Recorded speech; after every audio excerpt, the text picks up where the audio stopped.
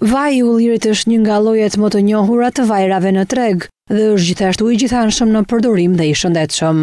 Por për disa vende vaji i ullirit më shumë se thjesht një opsion i shëndetshëm gatimi, është një burim kryesor të ardhurash.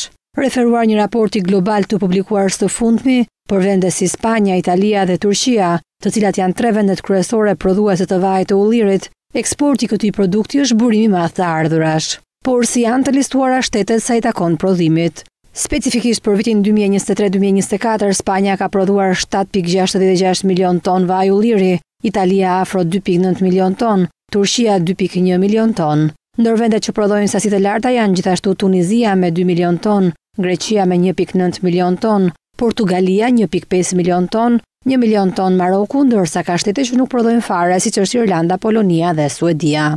Po ku ndodhet Shqipëria sa i takon prodhimit? Referuar të dhënave zyrtare, në vendin tonë për vitin dy mijë e njëzet e tre dy mijë e njëzet e katër janë prodhuar gjashtëmbëdhjetë mijë ton vaj ulliri, duke u renditur në vendin e gjashtëmbëdhjetë ndër tridhjetë shtete prodhuese.